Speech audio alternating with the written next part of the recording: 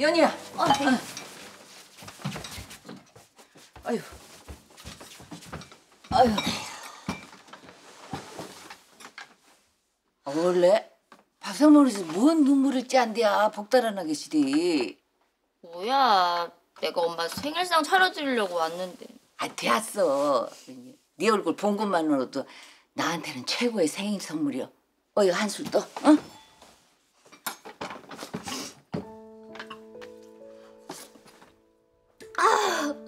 맛있다. 너무 맛있어, 엄마. 아이고 재벌집서 온갖 사내짐이 다 먹고 살 텐데 이깟 뭐 촌밥상이 뭐가 아쉽다고 그래. 어이 먹어. 어? 저 그나저나 저 우리 장서방은 잘 지내는겨? 그럼 장서방도 너무 같이 오고 싶어 했는데 일이 좀 바빠야지. 아마 우리 장서방이 그냥 방송국 죄다 먹이고 살 텐데 아 좀 바쁘시겠어. 아니 근데 어째 지난번보다 더 축이 난겨? 어디 아픈 거 아니여?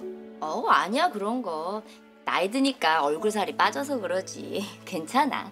아유 아 참. 저, 이거 장서방이 엄마 용돈 하시라고. 장서방이? 헉! 어메 이게 대체 얼만겨? 엄마가 철철이 지어보내는 보약이며 반찬들에 비하면 아무것도 아닌데 뭐.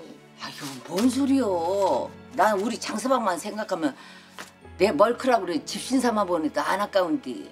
아이고 세상에 아는 배에 떡하니 들어앉았지. 네 시엄니는 죽으면 죽었지 못 받아들인다고 그러지. 니는 니대로 또 혼자 나 키우겠다고. 나 그때 확 새끼 물고 죽고 잡았다니까.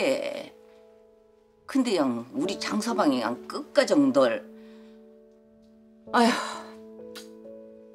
나한테는 장서방이 은인이요 은인. 장서방한테 더 잘여. 그런 남편 또 없어.